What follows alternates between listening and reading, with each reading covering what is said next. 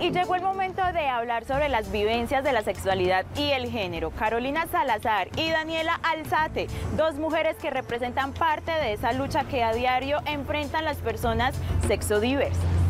Así es, dos abogadas que desde su quehacer hacen pedagogía social y concientizan sobre esas realidades que toda la población LGBTIQ enfrenta diariamente. Además, dejan muy claro que toda esa discriminación social tiene consecuencias jurídicas. Conozcamos su relato.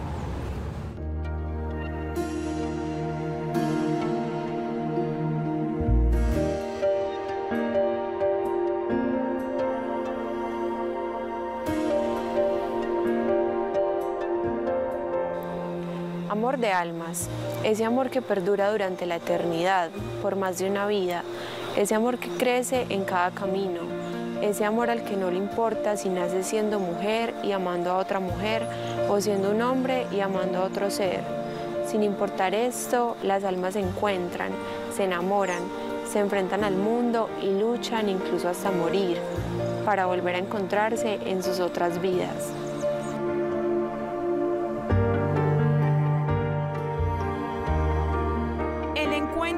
Dos almas joviales y apasionadas sucedió hace 11 años en el entorno escolar que ambas frecuentaban en su época de adolescencia.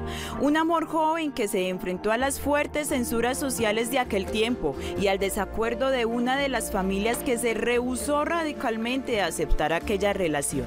Fue así como, en su momento, el núcleo familiar de una de estas jóvenes les prohibieron totalmente que tuviesen acercamientos. Fueron forzadas a la separación. Yo descubrí mi orientación sexual más o menos a los 14 años en el colegio, pero nunca pude expresarlo de forma libre porque vengo de una familia muy convencional, unos padres muy adultos, entonces era muy complicado como que entendieran mi orientación sexual.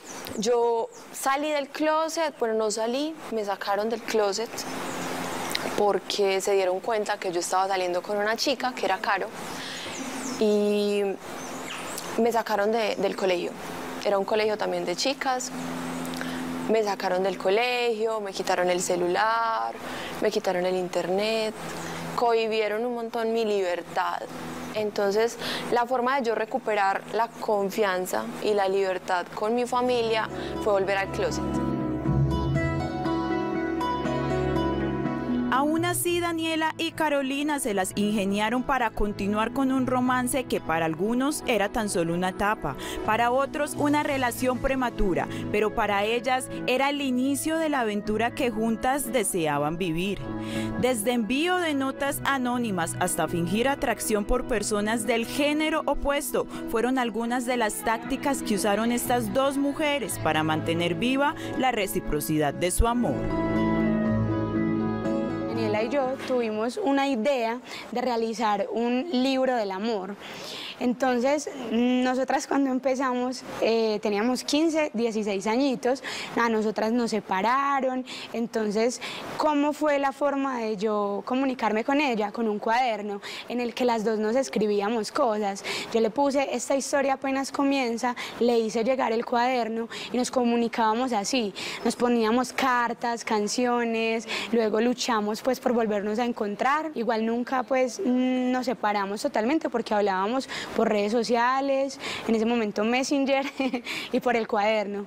Y nos veíamos cuando Dani se escapaba, porque se escapaba todo el tiempo, para poder vernos. Y yo siento que esto es un amor más allá de la carne, esto es un amor de almas. Y nosotras, yo creo que la pregunta de ese encuentro no es cuándo se encontraron en esta vida, sino el alma y el alma cuando se encontraron. idilio que estaban dispuestas a defender. Tras años de prohibiciones decidieron darle fin a las coacciones familiares y sociales para libremente expresar su relación lésbica. Juntas en el 2015 iniciaron sus estudios en Derecho en la misma universidad. Fue un episodio en este entorno académico el detonante para que ambas empezaran a cuestionar y a actuar frente a lo que estaba sucediendo en la sociedad con respecto a las personas con orientaciones sexuales diversas, obteniendo así avances en sus entornos más cercanos. Sí existe un acto que nos llevó a ser lo que somos hoy en día y fue como que estábamos cansadas de que nos discriminaran en las calles, en la sociedad, la familia y fue como, bueno, el espacio que tenemos ahora es la universidad y llega alguien en la universidad, un profesor, y nos discrimina. Estábamos sentaditas en un corredor y llega un profesor y nos dice, hey, ¿ustedes qué están haciendo? No pueden estar abrazadas ahí. Y yo lo miré como, ¿qué estamos haciendo? Pues porque me pareció algo absurdo esa pregunta. Somos tú y yo contra el mundo. Ahí comenzó todo. Empezamos a tener invitaciones de personas importantes, nos empezaron a llamar el, jarrón de la universidad porque empezó a existir una revolución en esa universidad, tanto así que en este momento hay una semana que es la Semana Rosa, eh, donde las personas se pueden expresar libremente. Nos empezaron a seguir un montón de personas, no solo de Colombia, sino de muchos países, a pedirnos consejos, a decirnos, hey, ¿cómo hago para salir del closet? ¿Cómo hago para ser yo misma o yo mismo? ¿Cómo hago para que mi, mi papá o mi mamá me acepte? Con esa complicidad que las caracteriza, trazaron algunas acciones que permiten denunciar actos homofóbicos y respaldar a las personas discriminadas por sus preferencias sexuales. La pedagogía digital desde sus redes sociales, brindar asesoría jurídica a personas homosexuales que así lo requieran y la publicación y difusión de historias de seres diversos a través de su libro La homofobia es gay. Las estrategias fueron primero pedagógicas, entonces dijimos, bueno, no nos van a escuchar hablando de cosas jurídicas, entonces vamos a hacer jueguitos en YouTube, vamos a hacer mm, actividades pedagógicas donde las personas nos cuenten sus historias y nosotros las demos a conocer en nuestro canal, entonces nos empiezan a escribir un montón de personas y a partir de eso creamos un libro que se llama La homofobia es gay y ese, ese, ese libro es basado en historias reales que ilustramos en cuentos eh, fantasiosos. Entonces llevamos como, como al público las historias que les han pasado a otras personas para que se identifiquen y aprendamos, pero en positivo. Nunca quedarnos como en lo negativo, sino, hey, a través de la historia de esa persona, que otras personas se sienten identificadas y cómo lo podemos aprender. Y es que nació a través de Caro y Dani una plataforma, una herramienta para brindarle asesoría legal a las personas de la comunidad específicamente. Estas asesorías son completamente gratuitas y son asesorías a las que la gente puede acceder con solamente enviarnos un mensaje por redes sociales. Dos abogadas que desde su quehacer y desde su papel como activistas buscan dejar precedentes jurídicos sobre casos de discriminación y hacer caer en la cuenta de la sociedad que leyes como la 10 1752 de 2015, antes conocida como la Ley 1482 de 2011, sanciona penalmente actos de discriminación por razones de raza, etnia, religión, nacionalidad, ideología política o filosófica, sexo u orientación sexual y otras formas conexas. La homofobia es gay. A él nadie lo quiere. Nadie le habla por ser afeminado. Nadie lo mira porque podría contagiarse. Nadie es amable con él porque podría confundirse. Dicen que nadie lo ha escuchado hablar nunca. Quisiera saber qué piensa. Pobre hombre. Ahora discriminar en raíz de la orientación sexual es un delito y es un delito que puede acarrear varias consecuencias graves para la persona que lo realiza. Una de las consecuencias es que pueden incurrir en sanción como la prisión de 1 a 3 años de cárcel y la otra sanción es una multa que oscila entre los 10 y los 15 salarios mínimos. A raíz de todas las demandas que la comunidad ha hecho, las tutelas, todo lo que ha llegado por decirlo así, hasta la Corte nos ha ayudado a regular las normas que ya existían en pro de la protección a la comunidad diversa.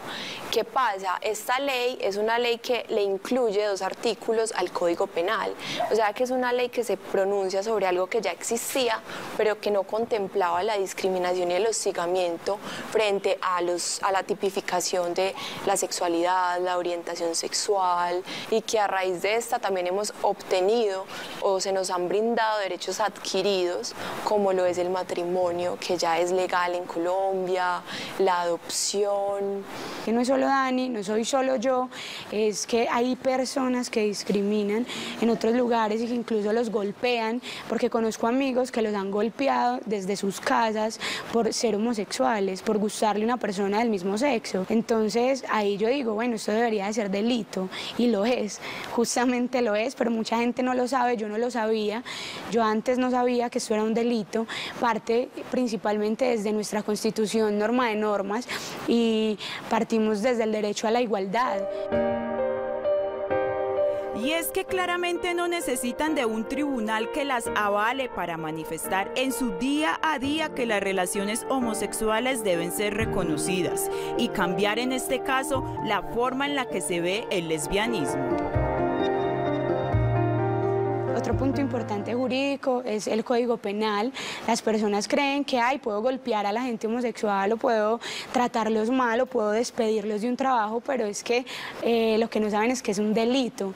Incluso eso parte del Código Penal del artículo 134 A y 134B en el que las personas que discriminen pueden incluso incursionar en uno a tres años de prisión o multas exageradamente grandes. Entonces, yo qué digo, no están solos.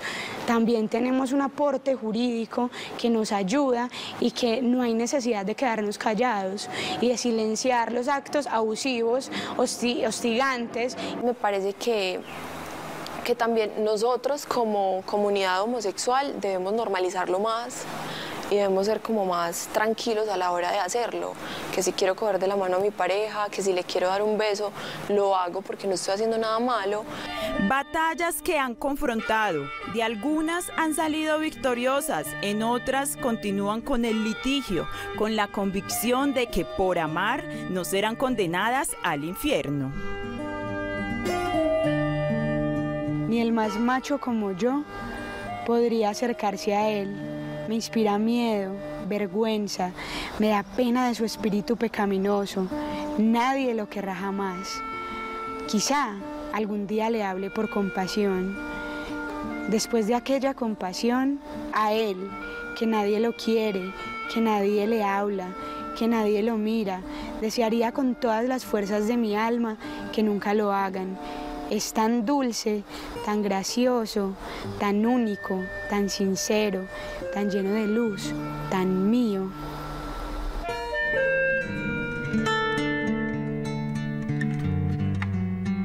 Bueno, para mí Carolina significa fuerza, es el apoyo más grande que yo he tenido en mi vida, diría yo. Entonces es una persona llena de comprensión y diría yo que es como la descripción del amor verdadero. Daniela representa amor, representa, representa muchísimo aprendizaje, representa maestra en la tierra, mi maestra más grande en la tierra, representa, no, representa todo.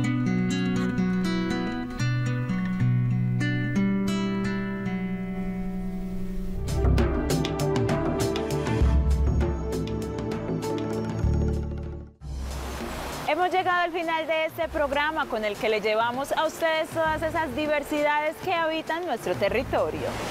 Así es, estén pendientes de esos próximos relatos, esas historias que hablan de población LGBTIQ, que habla de etnias, de esencia plural, de todos esos pensamientos que encierran la ciudad de Medellín y nuestro tejido humano. Los esperamos entonces en un próximo episodio por aquí por Telemedellín. Aquí te ves.